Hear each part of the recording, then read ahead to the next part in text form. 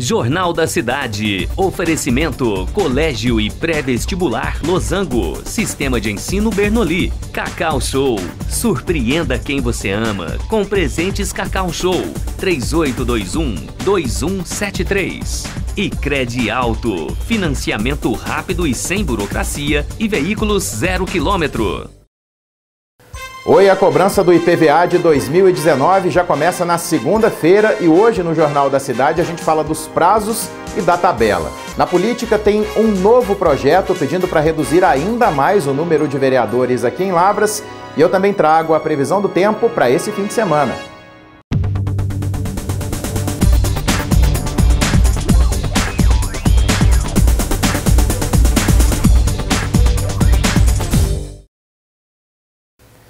A gente começa o jornal de hoje falando de política. É que nessa semana o vereador João Paulo Felizardo apresentou um novo projeto na Câmara Municipal. Ele pede a redução no número de vereadores aqui de Lavras de 17 para 11. O projeto ainda precisa de algumas assinaturas para poder tramitar. Com esse, já são dois projetos pedindo a redução nesse número de vereadores. A outra iniciativa, que também já foi protocolada em 2019, é da vereadora Cristiane é Costa. E a diferença é que o projeto dela pede que o número caia de 17 para 13. Começa na próxima segunda-feira a cobrança do IPVA 2019 para os veículos que são registrados aqui em Minas Gerais. A tabela varia de acordo com o fim das placas e quem traz essas informações para a gente é a repórter Lisa Fávaro o Estado deve arrecadar pouco mais de 5 bilhões e 400 milhões de reais este ano com o imposto. A primeira parcela do IPVA já vence na próxima segunda-feira, dia 14. Quem quiser fazer o pagamento à vista em parcela única terá 3% de desconto sobre o imposto. E se não tem débitos anteriores de 2007 e 2018, também tem mais 3% de desconto.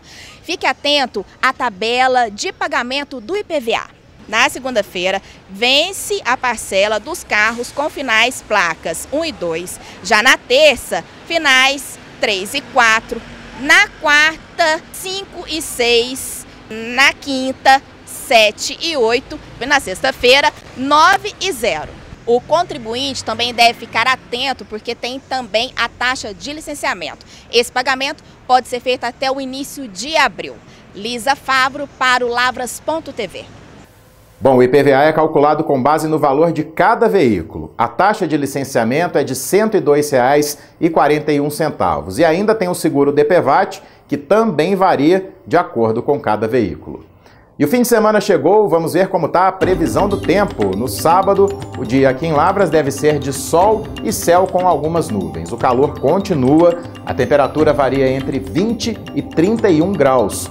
Pode chover à tarde e à noite. São 25 milímetros com 90% de chance. Ventos em 11 km por hora e a umidade do ar vai para 73%. Agora a gente muda a tela para o domingo. A condição é a mesma de calor e céu com algumas nuvens e as temperaturas também não mudam. Tem possibilidade de chuva, só que menos que no sábado. São 15 milímetros com 75% de chance ventos em 12 km por hora e umidade do ar na casa dos 65%. Se você quer ver alguma matéria aqui no Jornal da Cidade ou sugerir algum assunto, manda a sua sugestão para cá. Pode ser pelo WhatsApp, que é o 98806.000, ou então direto nas redes sociais do lavras.tv. Um ótimo fim de semana e a gente está de volta na segunda-feira.